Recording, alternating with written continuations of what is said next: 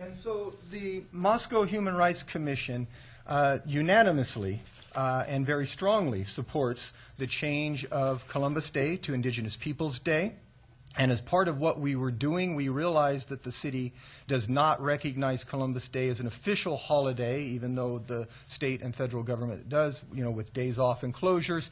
And so what we wanted was the name change in Moscow not affecting the uh, operations of the city. So it's the- more the symbol of the name change than the actual making it a city holiday in that sense, because we already don't have that city holiday. And so just a few words on that, on support. Uh, First of all, the symbol of Columbus Day. Uh, it is a symbol uh, to a lot of people, especially Native American groups in the United States, uh, of genocide, slavery, conquest, and all of these things that go along with it. And so it's a continuous yearly symbol of everything that was experienced. And so we argue that it should be changed. The symbol should be changed not to erase the past, but to recognize that the indigenous people of the United States and Native Americans uh, were the first human inhabitants to this region. Uh, Moscow is on uh, Native American land. It was built on that, the, the Palouse. And so that we honor the Native Americans and their ancestors and recognize that what happened, and while we cannot change the past, we can make people aware of that past, uh, uh, uh, make it evident of it, and try to move forward beyond that uh, past by recognizing uh, Indigenous Peoples Day. Uh, another part of this is also that Columbus himself uh, should not be on a holiday, and I totally support changing the state and federal uh, holiday on that. That's a bit beyond my scope, but I would be love to help somebody work on that uh, because Columbus himself uh, was a mass murderer, a slaver, uh, abused and tortured people. He uh, sold children as young as 10 years old into sexual slavery on a regular basis, was removed from his office, put on trial, and found guilty of atrocities.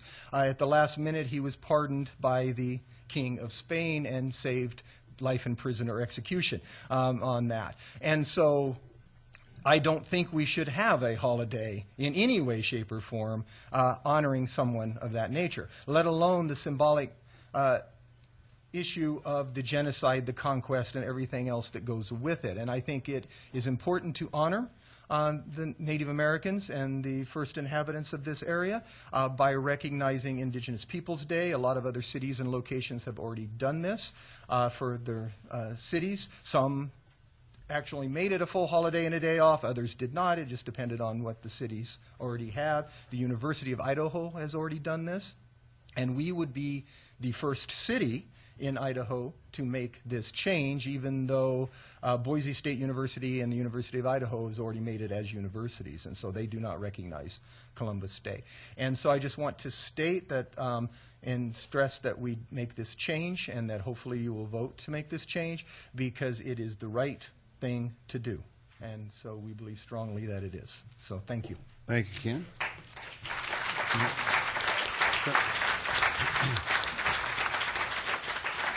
You're, you're, ra- you're raising your hand. Come on up here and, and tell us who you are, sir, your address, and we'll give you a couple of minutes to speak. Thank you. Uh, my name is Caleb Bauma. I live at 463 Boyd Avenue in Moscow, Idaho. Um, and I just have a couple of minutes of comments here. Uh, I grew up here. I've been here since fifth grade. I now raise my kids here. And my great grandmother was half Cherokee. Um, so I, I can sympathize with that side. But that being said, this um, proposal is concerning to me in that uh, it, it's proposed as a way to celebrate such diversity with a holiday which is inclusive rather than divisive. When this re- resolution would inherently force the majority of residents to choose uh, between commemorating how they personally got here and remembering those who were here first. There are 365 days in the year, and it is something far from inclusive to try to replace, insofar as it would replace, Columbus Day, regardless of whether there is some disagreement over it. If I were eating at a large table with several people and many open chairs, and it would It would hardly be inclusive of me to remove one of those three people from their seat so that I could put someone who thought, so whom I thought more worthy of in their chair. Inclusion means inviting someone to pull up a chair, and if you happen to disagree, you dialogue about it. You don't replace. This will immediately divide people into camps simply by replacing a long-standing, one of the longest-standing actually, um, commemorations from the slate. Whether you like it or not, most of us are where we are, in part because of Columbus, um, because he sailed the ocean blue. Commemorating a significant historical figure does not mean that you condone all their actions or their beliefs. We must not throw the baby out with the bathwater. Even with all of his life's flaws, Columbus impacted the world in a gigantic way, making, uh, marking the beginning of uh, written, recorded history of America uh, and the beginning of the exchange between European and American culture.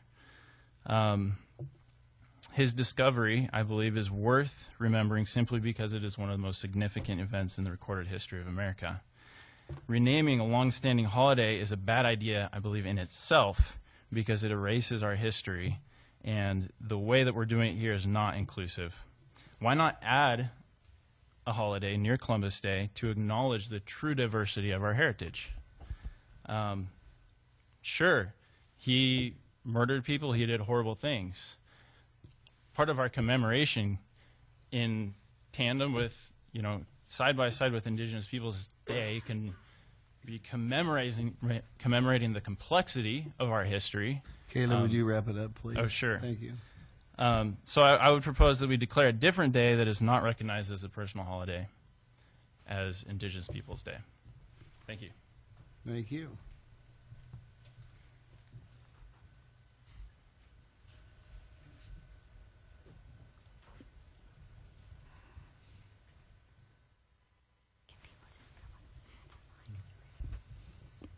Victoria Seaver, 121 North Lily, Moscow.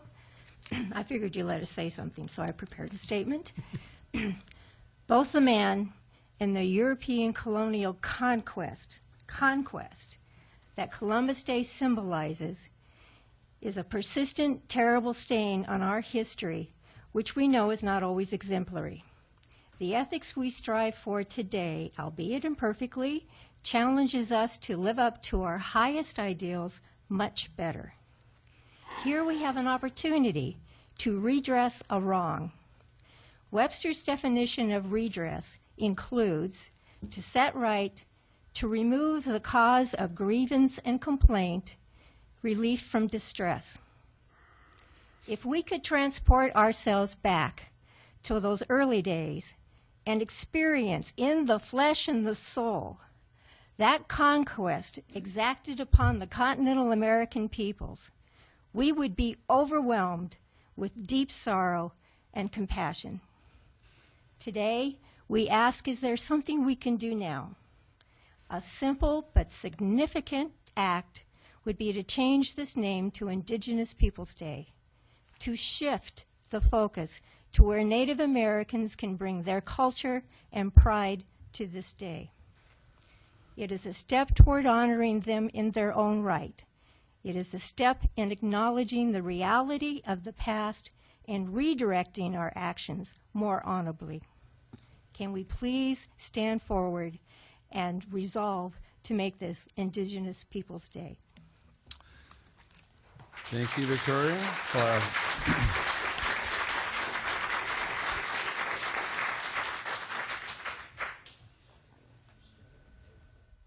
Come on up. Yes, ma'am.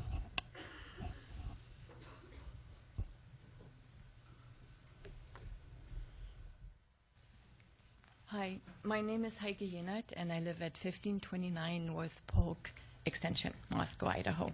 This is my first time ever at this uh, Moscow City, City Council meeting, and I'm nervous.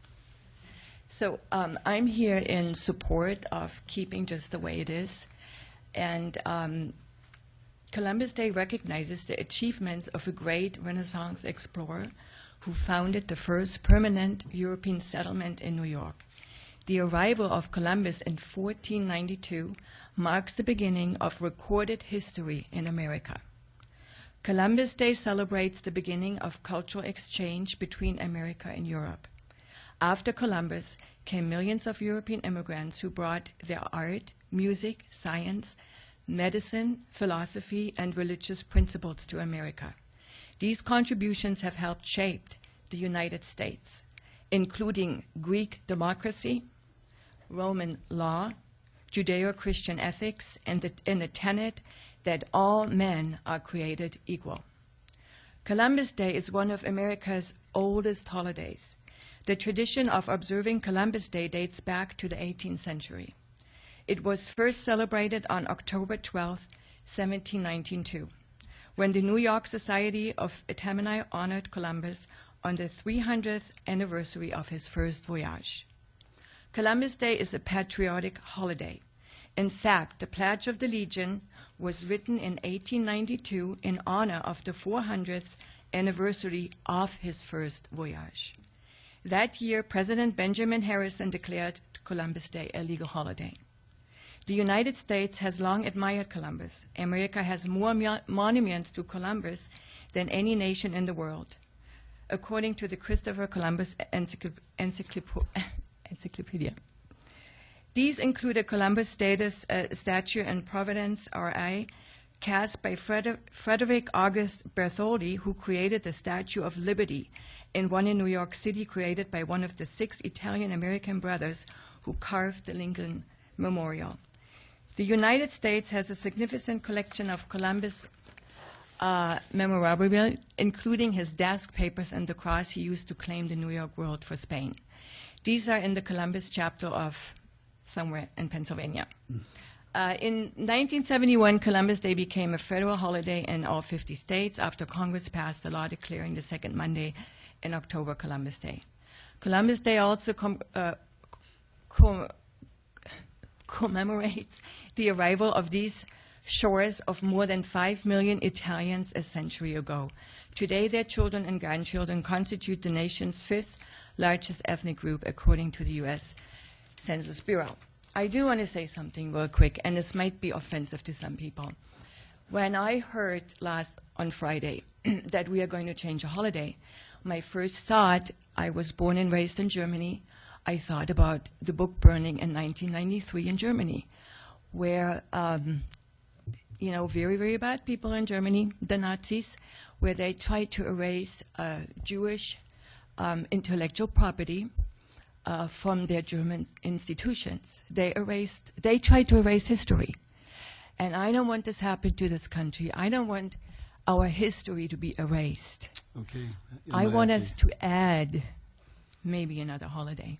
Okay. Thank you. Thank you, Tanya. Oh, I,